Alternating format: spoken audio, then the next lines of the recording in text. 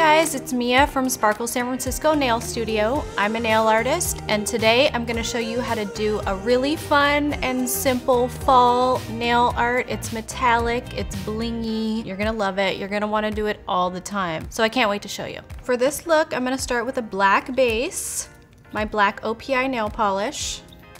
Now I'm gonna clean up, putting a little acetone in my glass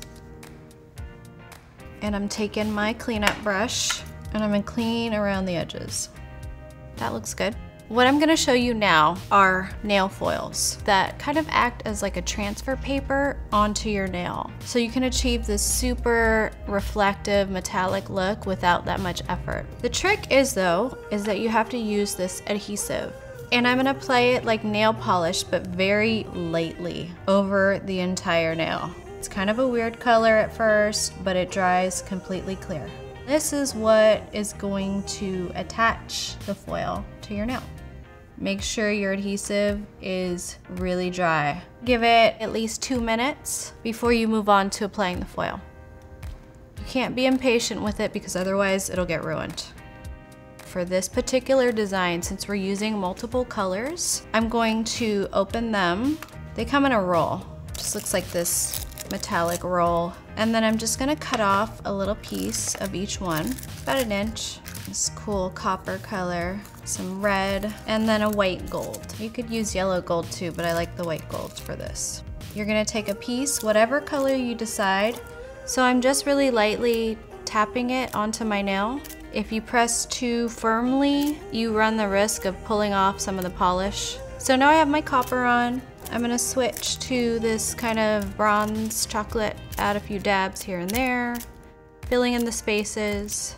This is what the paper looks like after it's transferred onto your nail. It leaves a little bit of a clear space. Rotate it to another piece that still has some of the foil left on there. And I'm just filling in little spaces that still don't have any color on them. See how easy that is? It's only gonna stick to the areas that are black or your polish underneath with the adhesive on it. And you don't have to cover up all the black too. You kind of want to let some of it peek through so you get that really fun shattered fall metallic color look. Yeah, I like the way the thumb looks a lot.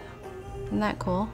It's super important to add a really good top coat to this. I found that if you use a quick dry top coat, it gets wrinkly. The foil loses its smooth effect. I'm gonna add my standard glossy top coat. And that's it. I hope you really like the fun fall metallic manicure I just showed you how to achieve with nail foils. They're super simple to use. I love them. They're one of my favorite nail art tools. If you have any feedback or comments or want to see anything else, go ahead and leave a comment below. For more videos like this, subscribe to the Glam YouTube channel on the link.